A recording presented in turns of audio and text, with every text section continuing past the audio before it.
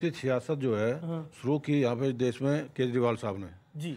और केजरीवाल साहब ने जो मुफ़्त की सियासत की मेरा मेरा कहने का मतलब ये है कि मुफ़्त तो अच्छा किया, मुफ़्त ना देखे वो फ़ायदा हुआ उनको बहुत बड़ा प्रॉफिट हुआ। उनको तो फ़ायदा हुआ मतलब मुफ़्त ना देखे रोज़गार ये देश के लिए सही है रोज़गार देना चाहिए इन बच्चों को शिक्षा मुफ़्त देनी चाहिए। आप सहमत हैं इनकी बात से? मुफ़्त मुफ़्त शिक्षा देनी चाहिए रोज़गार देना चाहिए। अगर रोज़गार होगा तो अपने आप चीज़ सब लोग खरीद लेंगे। देखिए देख कुलदीप कुलदीप जी ये मतलब सीधा ये कह देना भाई और बहनों मैं आपके लिए मुफ़्त दे रहा हूँ।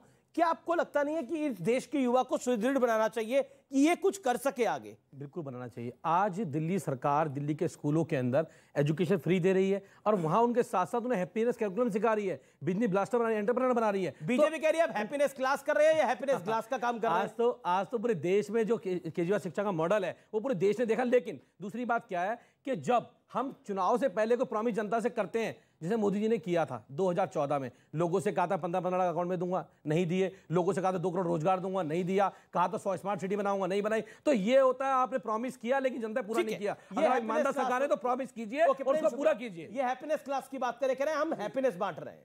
हैप्पीनेस इतना बांट रहे हैं कि एक बोतल पे एक बोतल फ्री वाली भी स्कीम इनके पास है। लेकिन मुद्दे की मुद्दे की बात ये है देखिए। देखिए ये देखिए नहीं ये आराम से मैं, मैं आपके बीच में ये भाई मैं फिर बताया अरे कौन सी बोतल समझ ली आपने कौन सी बोतल समझ? ली नहीं किस बोतल में आपने कौन सी बोतल समझ ली? नहीं मैं अगर आंकड़ों की बात जी, आराम से करूँगा अगर मैं तो इनके बीच में नहीं नहीं, रहा नहीं, एक सेकंड प्रेम शुक्ला जी को ये क्लैरिफाई करना चाहिए कि कौन सी बोतल की बात कर रहे हैं। अब आप बताइए बोतल कौन सी ये परेशान हो गए। देखिए देखिए अरे बोतल से वो दो एक ही बोतल समझ रहे हैं समझ जाइए आप। अच्छा मुद्दे की बात है। जो क्या जो फ्री जो फ्री करिए उसी के बारे में सोच रहे हैं। मुद्दे मुद्दे की बात है लोगों को सशक्त जैसे गुजरात के अंदर नहीं नहीं जो गुजरात के अंदर बोले, बोले, मर गए चौहत्तर लोग उसके ऊपर बात कर रहे हैं। देखिए, देखिए। उसके बारे में बताइए ना देखिए जनता फिर आ रहा हूँ। मैं फिर आ रहा हूँ देखिए वो जो पूरा मामला है अब उसमें दिल्ली पुलिस ने भी एक केस फ़ाइल कर दिया है वो पूरा मामला बढ़ गया आगे। जी जी भाई चौहत्तर लोगों की मौत हो गई जवान से खुली बीजेपी की महत्वपूर्ण मुद्दा है पर से चर्चा हुई है एक सेकंड।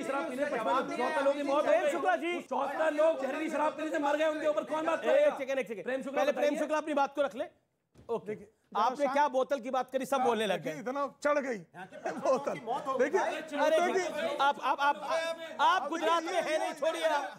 आप फ़िलहाल छोड़िए। अरे अरे अरे चीखना चीखना बंद है देखिए शांत पाँचों इस मुद्दे पर तो राज़ी हैं। देखिए शिक्षा जैसे है तो शिक्षा लोगों की मुफ़्त की व्यवस्था होनी सरकारी शिक्षा सरकारी विद्यालयों में महानगर पालिका के विद्यालय जिला परिषद के विद्यालय लगभग सब राज्य में है।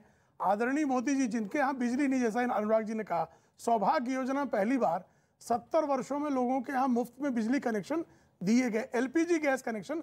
अमीरों ने सब्सिडी छोड़ी और गरीबों के घर में एलपीजी गैस कनेक्शन गए। अच्छा आपने ये बोतल आप आपने आप बोतल क्या कर रहे थे? आपने बोतल का नाम क्या लिया कर रहे बोतल का नाम ये बोतल वाली पॉलिटिक्स क्या है? वो कहते हैं हमें फंसाने की कोशिश हो रही है। अरे साहब ये दशा है कि जो रेजिडेंट एरिया है जहाँ आप शराब का पास नहीं कर सकते। और दूसरा आदरणीय केजरीवाल जी जब लोकपाल योजना थी इनको इनको आंकड़ा बता दे। अरे सुन तो आपको ठेके पता है भाई ठेके की कितने बताइए? आंकड़ा बताइए। अरे सुनिए तो पहले इन्होंने कहा था कि अगर किसी इलाके में शराब की नई दुकान तभी खुलेगी जब वहाँ की महिला समिति अनुमति देगी।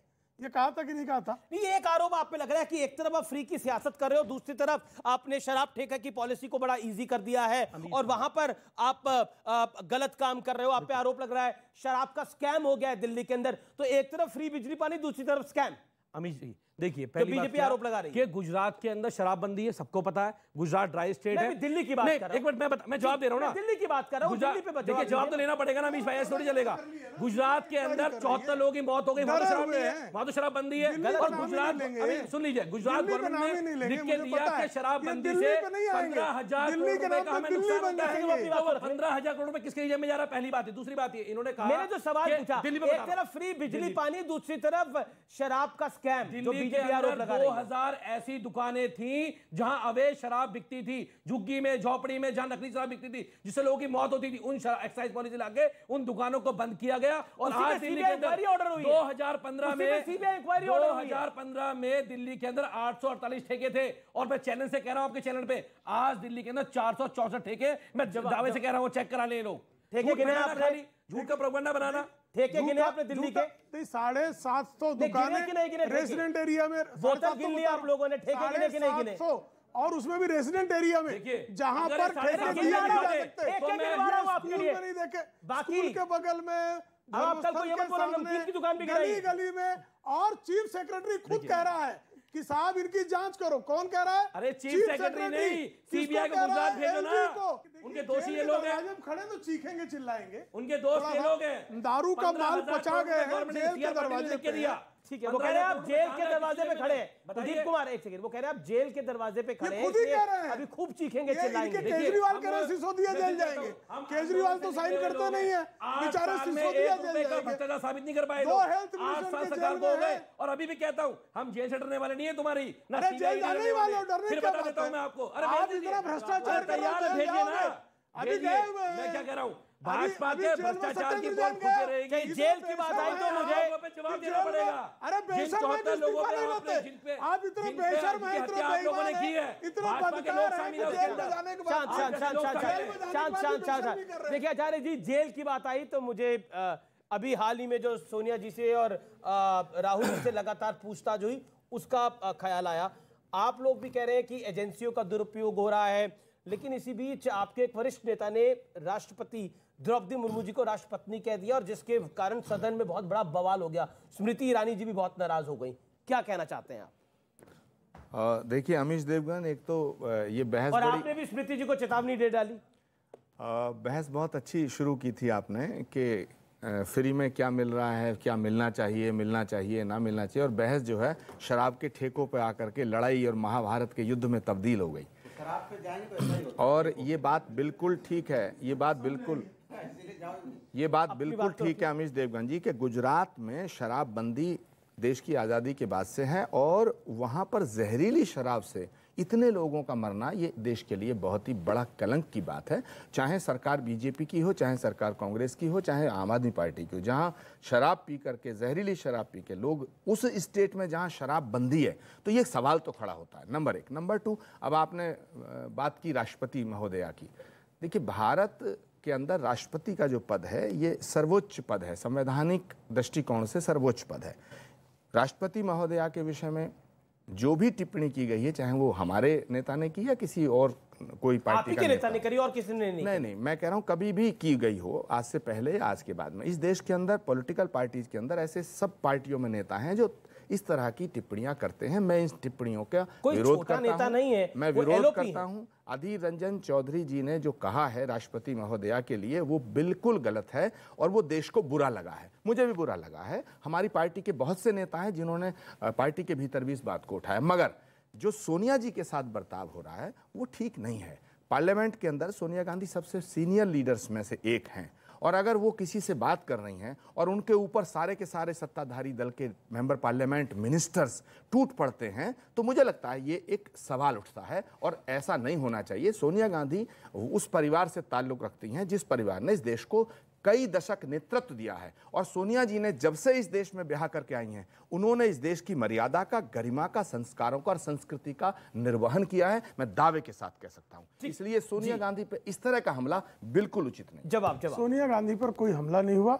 आदरणीय स्मृति ईरानी जी जब वो रमा रमा देवी जी से बात कर रही थी उस समय उन्होंने पूछा can I help you can I help you हमला may I help you may I help you हमला होता है।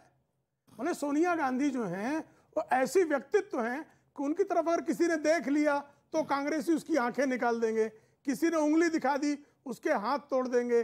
किसी ने कोई अरे भाई आप लोग आदरणीय स्मृति ईरानी को, क्या क्या नहीं कहा कांग्रेसियों ने? आदरणीय राष्ट्रपति जी को।